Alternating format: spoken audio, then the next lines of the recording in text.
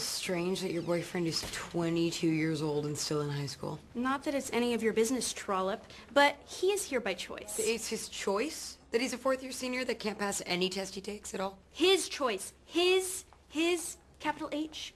If God wanted him to graduate, God would have given him the right answers. I'm sorry, you gotta be shitting me, woman.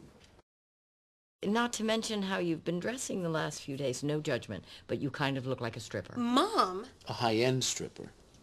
For governors or athletes. Yeah, the sad thing is, Evan, if you'd been a gentleman, maybe asked me on a date, I might have said yes. Really?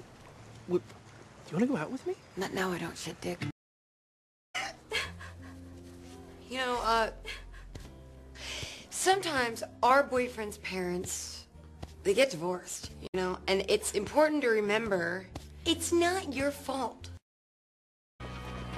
And here's how I really spent the weekend.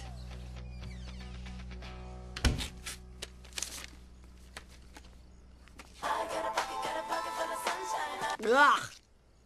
Worst song ever.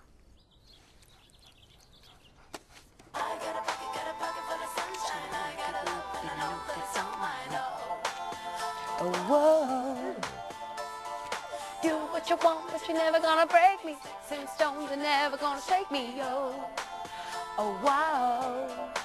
I gotta, I gotta, I gotta, I gotta bucket, gotta bucket, I gotta, I gotta bucket, gotta bucket for the sunshine. I gotta love and I know that it's all mine, no. Oh, wow.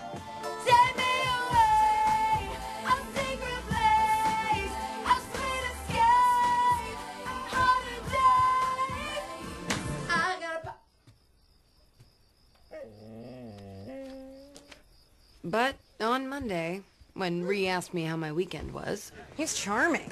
You know, he's a real gentleman, and you know, it feels like feels like I gotta love, and I know that it's all mine. Wait, why are you even being so nice to me? I did it. I got through to you.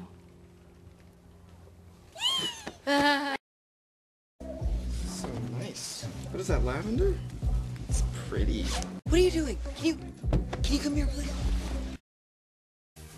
Olive, sweetie, there's a young man here to see you. He said something about asking for your hand in marriage. Oh, happy day, Mama. Oh, I thought I was gonna have to spend my dowry on booze and pills to numb the loneliness. A gentleman caller, hooray! What's that? Olive has a boy in her room. A boy? A boy. Wow, a boy. A boy. A boy? Wow.